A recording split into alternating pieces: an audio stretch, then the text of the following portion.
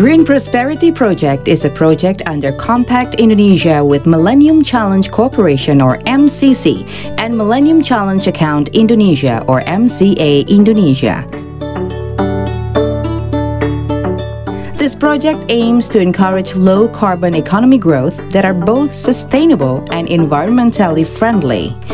Consequently, Green Prosperity Project supports projects that are focused on economic growth, which is friendly to the environment, such as increased access to renewable energy, increased practices of land use planning, the improvement of environmental management, and the strengthening of local spatial planning.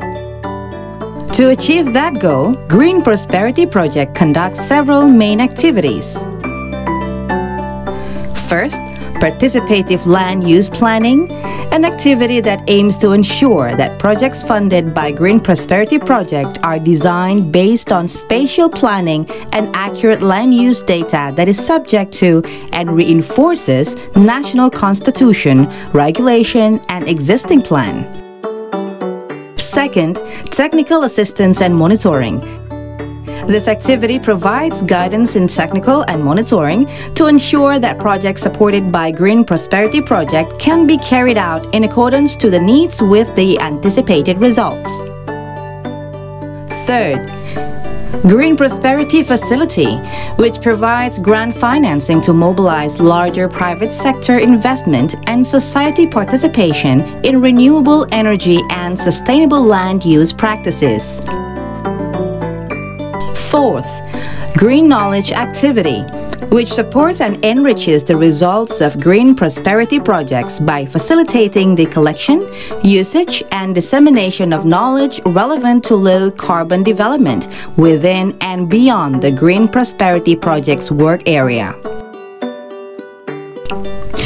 In carrying out these activities, Green Prosperity Project uses landscape approach for economic development which integrates various ecosystem stakeholders, environmental services, and values.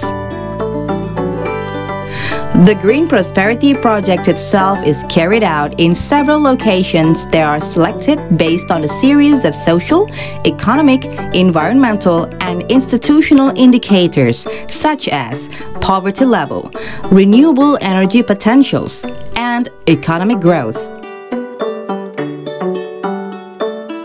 The dream of Green Prosperity Project is the environmentally friendly and sustainable economic growth active community involvement. Such economic growth pattern can serve as a relevant model of development for Indonesia.